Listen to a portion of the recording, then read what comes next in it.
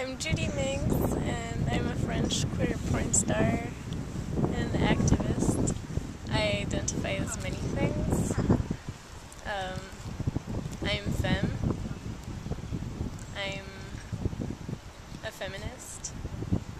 I'm queer. And I'm a sex worker. Well, obviously for me, sex work and feminism are not incompatible. Um, as I feel like, as a sex positive feminist, I believe that uh, sexual expression is not something that degrades women.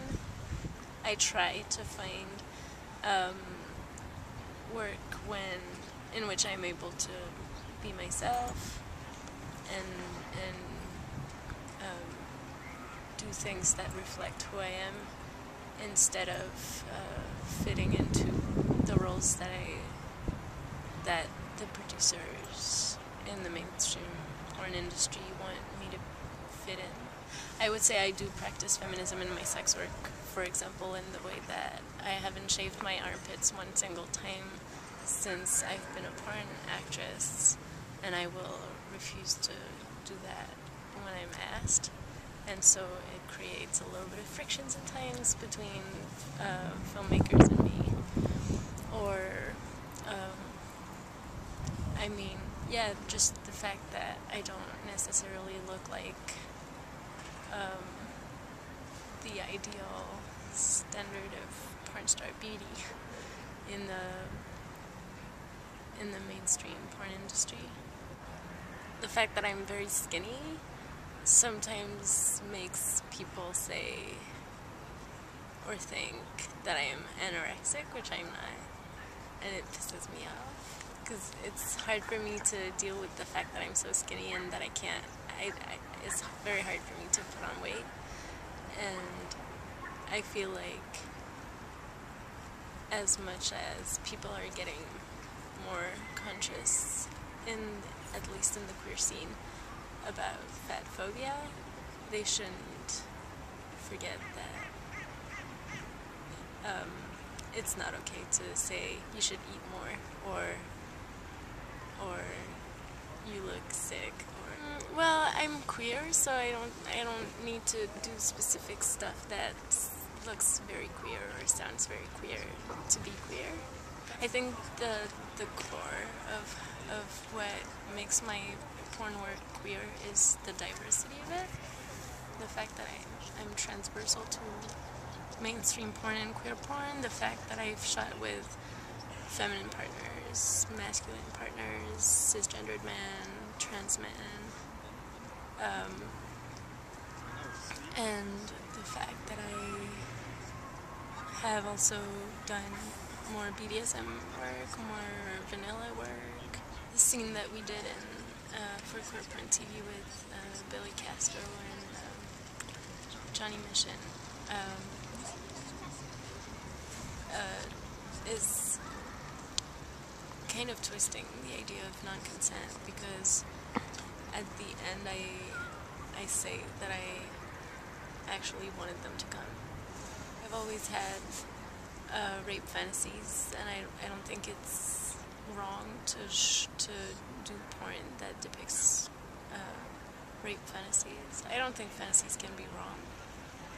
And I think anything that makes a woman um, wet has a place in feminist porn. I feel like um, if if it's a fantasy that comes from you, even if it's been uh, put in you by society, patriarchy, it's still it's still what gives you pleasure. What I mean, you can't control desire, and if that's what works for you, then I don't see why it would be anti-feminist when I started doing porn, everybody was worried for me that it would close doors for me and it has opened so many. I've met I've met people that were my heroes before I started. Courtney Trouble is one of them. I've gotten to to do art and creation in many more mediums. I've also gotten to like my more, to feel more comfortable with nudity, with my body in general, with sex in general. I was 18. I didn't know anyone in the porn industry. I just decided to do it and I did it. That's something that also makes me proud of how bold I am and how um, independent. I am passionate about politics, very much so. I am passionate about feminism. I am passionate about um, sex worker rights. I am passionate about transgender people's rights. I am passionate about um, the Palestinian people's rights. I'm I am passionate about every. I'm passionate about anti-capitalism. Mm. I'm passionate about uh, uh, fighting against um, Islamophobia in France and in the and in the rest of the world.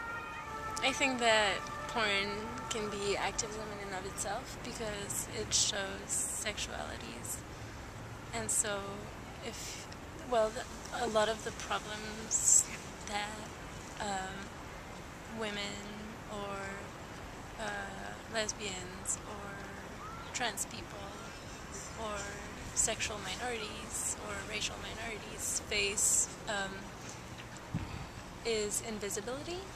And I think that pornography is a very good uh, medium for visibility because it's not on, on the level of intellect. So we can force the majority and the oppressor to be horny uh, while watching us be just the way we are and not the way they want us to be.